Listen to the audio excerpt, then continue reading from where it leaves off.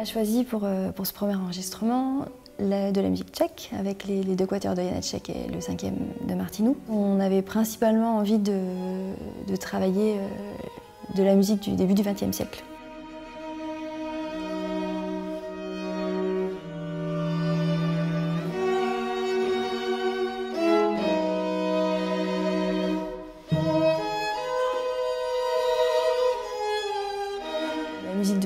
Euh, c'est une musique à sensation euh, vraiment brute. Il y a des changements de, de masque, de caractère en permanence. Après tout, ça ressemble quand même euh, de près à une discussion entre personnes. Par exemple, entre nous, on, aime bien se couper la parole. enfin, je sais pas si on aime bien, mais ça arrive. Et voilà, dans cette musique-là, c'est un peu ça.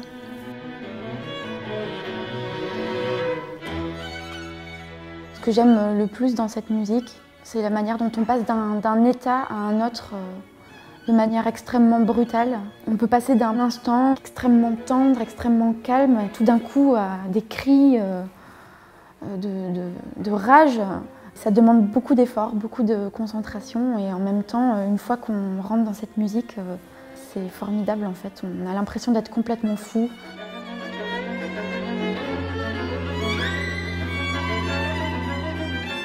Et travailler d'un interprète, c'est de, de- découvrir ce que veut un compositeur et de le retransmettre. En fait, on est des vecteurs euh, de, de musique à un public.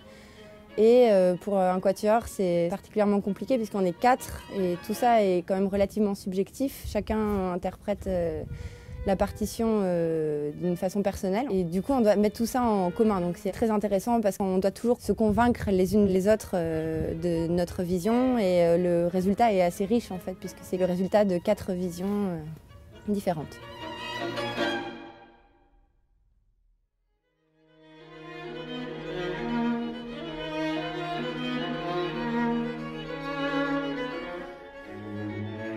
Martino et Janacek sont deux compositeurs de la même nationalité qu'on réunit rarement en fait, alors qu'ils sont euh, contemporains, euh, étant un peu plus jeune que Janacek. C'est toujours intéressant de voir ce qui se fait euh, au sein d'une même patrie, euh, ce qui se fait différent au même moment. Là, en l'occurrence, on a deux, une œuvre de 1928, donc les Lettres intimes, et une œuvre de 1938. C'est deux œuvres très proches, néanmoins très différentes.